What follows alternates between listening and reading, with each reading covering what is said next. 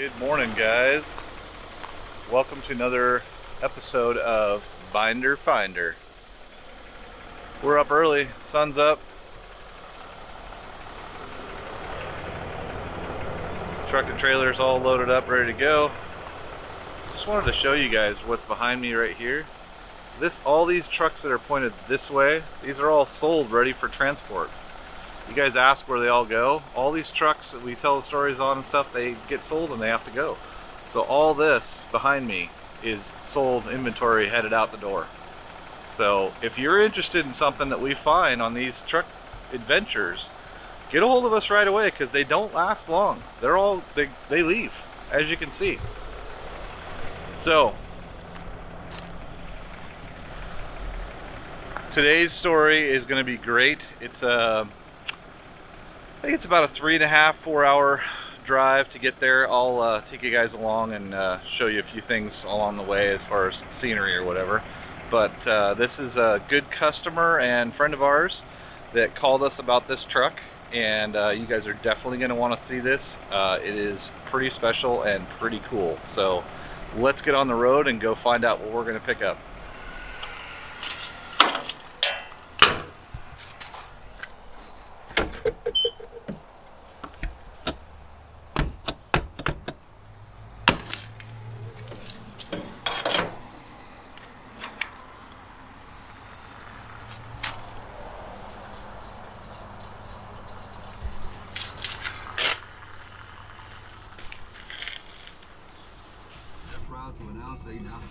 Co-pilot, co-piloting.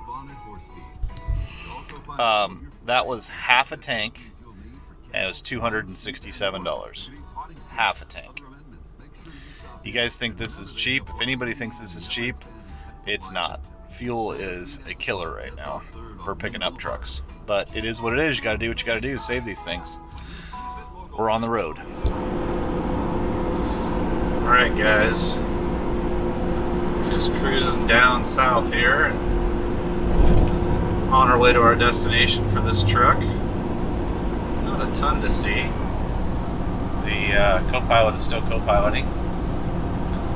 She's really good in the truck actually, it's surprising.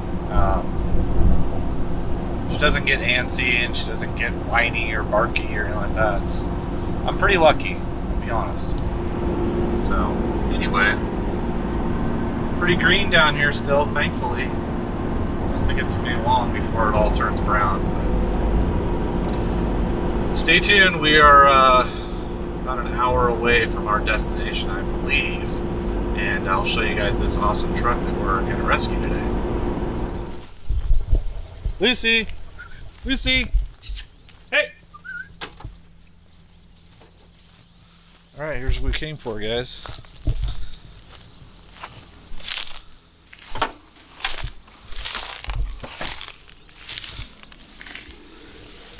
Definitely in its natural habitat.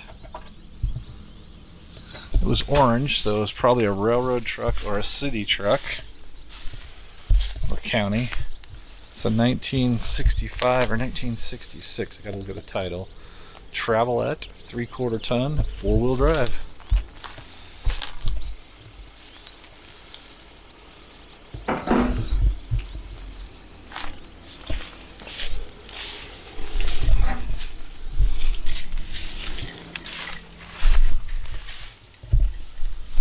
Hopefully it steers and rolls. Yeah, I drug it back a ways. Oh, you did? Issue, yeah. Okay. Yeah, just so I can make sure there's air in the tires. watch out for the nettles.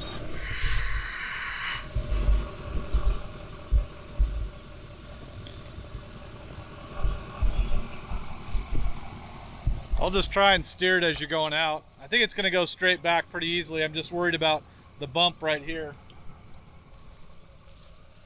Oh yeah, I got her in. Uh, I got the tires aired up.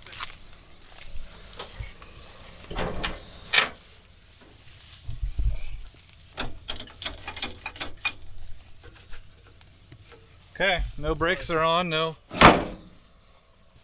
Yeah, that's the only thing I really can't figure out. Okay. That door sure doesn't want to work. Nope. All right, we'll just give her back nice and easy, and then I'll see if we need to steer it.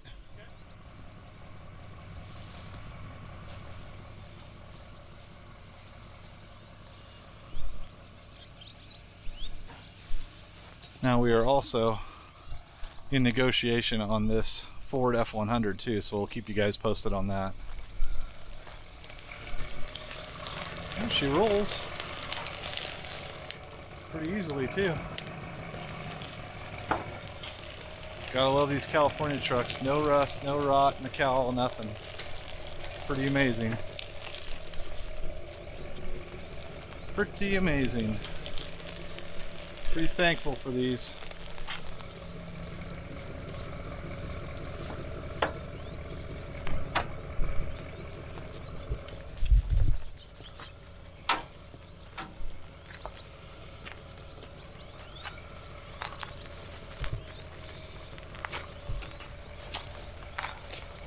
Get this to where it needs to go. Yeah, I can get all these Oh. where they need to go. Yeah, no, I'm I'm I'm glad. We just need to find more. Keep my I got my uh, eye on a couple more. I know, I know. All right. So we're gonna load it up there.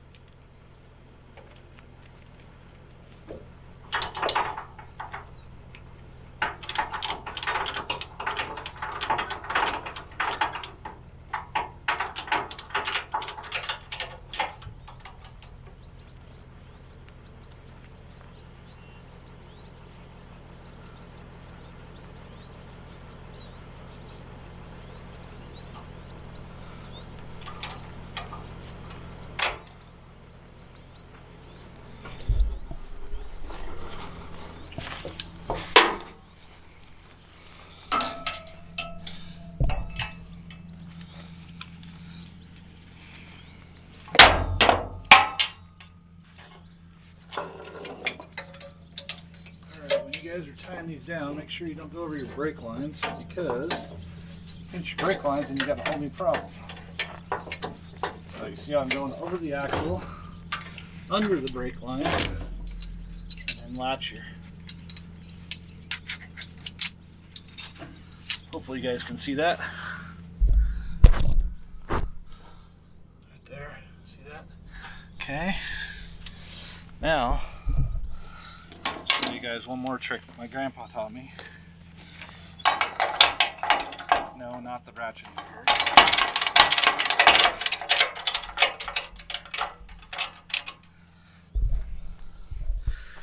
Okay. So, hopefully it picks this up on the camera. You take your strap, the extra, like this, fold it up. Fold it however many times you want. But on these ratcheting tie downs, just put it through the handle like that after you fold it. Put that down. That's locked. That's locked. You know the rest. All right, guys, back in Oregon. I'll do a little walk around on that truck when I get back to the shop so you guys can see it. But uh, yeah, pretty cool deal. Uh, the farm that it came from is three years away from being a hundred year century farm same family and everything. Pretty, pretty amazing. Um, the truck was the grandfather's, and he had passed away many years ago, and his son, the father now, is in ill health as well, unfortunately.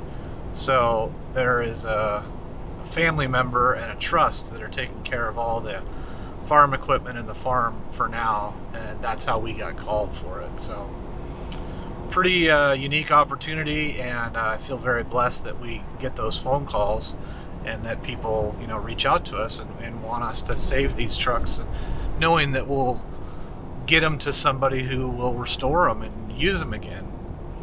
Um, that truck has the uh, original California pink, which in California is a you know certificate of ownership.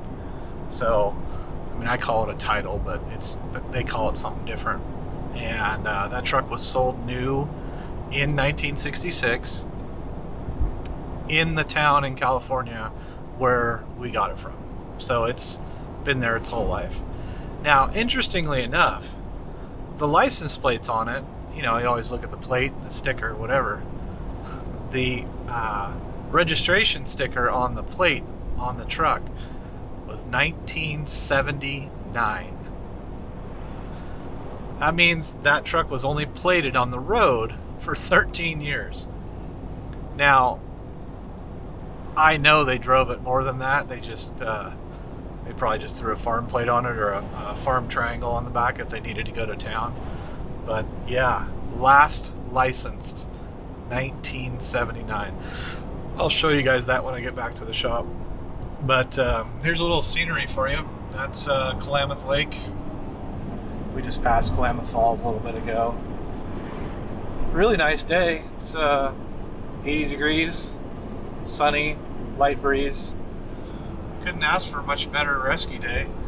Did have to uh, crawl through the the bushes and the grass and the trees a little bit. Um, they took that truck out of the barn it was truly a barn find, but they took it out of the barn about a week ago with the tractor so that we could get it easier with the truck and trailer. So um, I took some pictures from right where the spot where it was at. So, and there's some other vehicles there that we were uh, talking to them about, and uh, we might have an opportunity to go back and purchase a couple more vehicles. Uh, none of them are internationals, but there's some other cool stuff there. So, anyway, co-pilot He's still co-piloting back there. Um, this is we got our water. We stopped at uh, we stopped at this little mom and pop burger joint called the what's it called the Polar Bear? I think it's called the Polar Bear. Anyway, bacon cheeseburger, small fry, homemade, and I mean homemade with real ice cream chocolate shake. And I can't tell you guys the last time I had a really good burger, really good potato cut fries, and a really good true ice cream made milkshake. So, uh, if you guys are ever down in that neck of the woods, uh, I believe that was in Merrill, Oregon, on our way back up. Merrill, Oregon, tiny little town. Uh, the Polar Bear. Look it up online. It's uh, it's a little drive-in style burger joint. Pretty cool. Anyway, I will uh, I'll get back to you guys here in a little bit when we get to the shop and we'll talk a little bit more about this truck and what it is. All right. All right, that is a wrap for this video, guys. We're home. We're back at the shop. Time to unload this thing, unstrap it, get it off the trailer, and start answering all the emails, text messages, and phone calls I got from posting one picture on Instagram.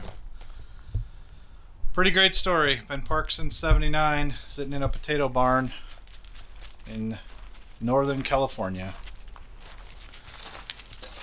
Alright, stay tuned. I'll let you know what happens to this, where it goes, who takes it, what they're to do with it. As always, it is for sale like most of our stuff. So if you are curious about it and it is something you're interested in and you see this video, I would call sooner than later because it probably might be here, but I don't think it'll be here. Thanks for watching. Thanks for liking. Thanks for subscribing. Appreciate you guys following the journey. Hope you like this uh, rescue, pick up from the farm. Showed you guys loading on the truck and strapping it down and then driving home. So uh, that's what we do. We rescue them, we get them home, and we rehome them to somebody that's going to take them and use them again. Thanks again, guys. We'll see you on the next one.